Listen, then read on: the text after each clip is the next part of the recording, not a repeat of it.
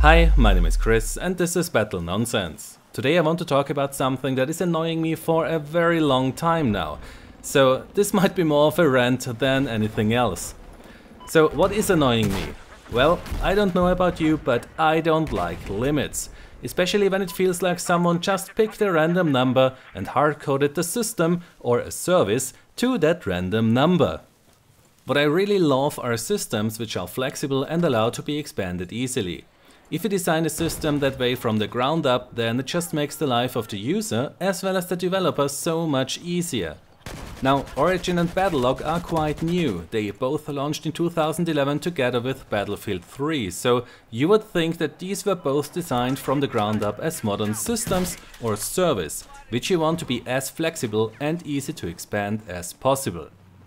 We live in a time of Facebook and Twitter. We can easily connect with a lot of people no matter where they are located. So look at the amount of friends and followers you have on Facebook, Google+, Twitter and similar services. Also look at the people you follow. How much friends do they have? What would happen if these services would have a friends or followers limit?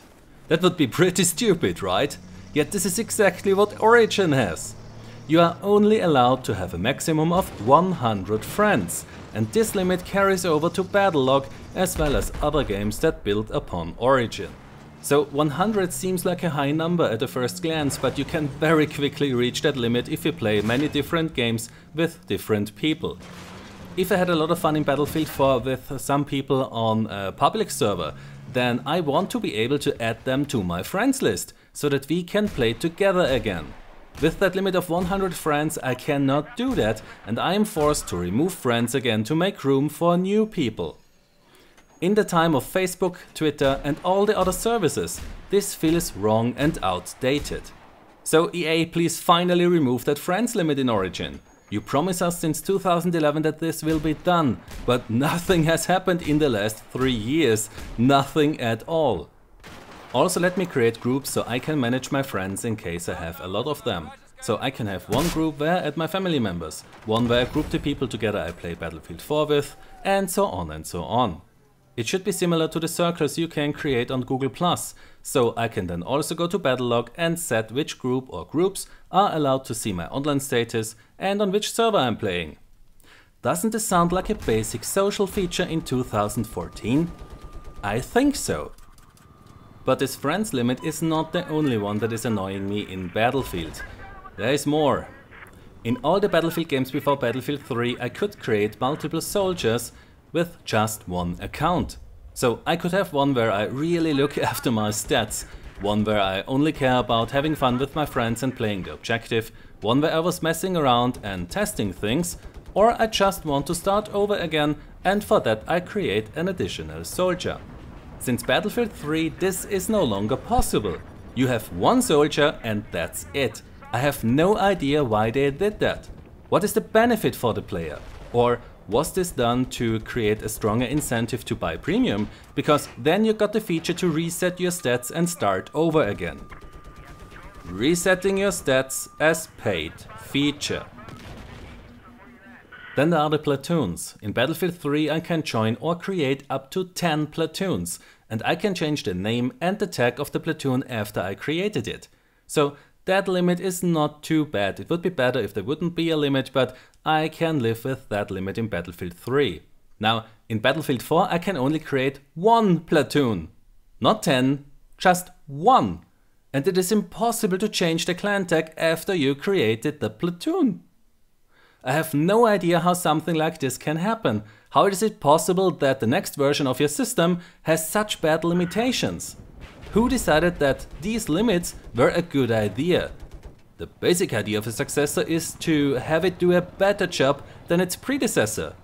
That is clearly not the case when the player can do less in the new game than he could do in the previous one. Now, how about joining a platoon? In Battlefield 3 you can be a member of up to 10 platoons and the platoons you create do count into that limit. So I'd prefer if that limit would not exist, but this is not too bad. However, in Battlefield 4 I cannot be a member of 10 platoons. This number was reduced to 3.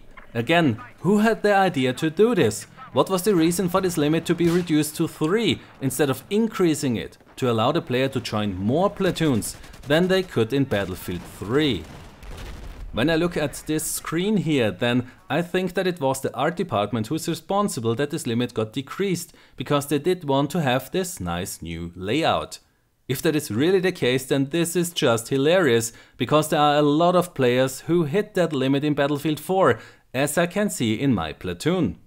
If you are already a member in 3 platoons, then you can still apply to join another one. But the founder of that platoon cannot accept your request to join, and it appears that these players are not aware of that. They might think now, why does this guy not accept my join request? And lastly, there's the amount of members a platoon can have. You would think that this is unlimited, right? Because there are communities out there who have hundreds, if not thousands of members. So applying a limit there would be very bad. Yet again, we do have a limit here. A platoon in Battlefield 3 can only have 100 members. And in Battlefield 4 it is the same thing, only that in Battlefield 4 you can earn the right to have more members by reaching a higher rank with your platoon. So at rank 5 your platoon is allowed to have 150 members, and at rank 10 it increases to a maximum of 200 players, which is still not enough to allow every member of a community to join the platoon if it is a very large community. In Battlefield 3 the founder of the community could at least create up to 10 platoons with just one account, which means that a maximum of 1000 players of his community could join the platoon, or platoons, because these were then split up among these, which is still a bad workaround for that hilarious limitation, but it sort of worked. But in Battlefield 4 the founder of the community cannot use that workaround anymore, because in Battlefield 4 you can only create one platoon per account, so if you have a big community, you then need multiple accounts or people who use the only platoon they can create to create one for this community. DICE and EA, please. Such arbitrary limits have no right to exist in 2014. You want that we play your games together with our friends. You have your developers design your games that way. You advertise your games that way. So please remove all these restrictions and allow us to actually play these games with all of our friends. So guys, if I don't accept your friend request or the request to join my platoon, then please don't be angry at me. Apparently it is EA who does not want that we are friends and play their games together, because they have such stupid limitations in their services. Which they don't seem to be very interested to change, at least they didn't show any interest at all during the last three years. While on the Xbox One it seems like you can have 1000 friends and on the PlayStation 4 you can have 2000.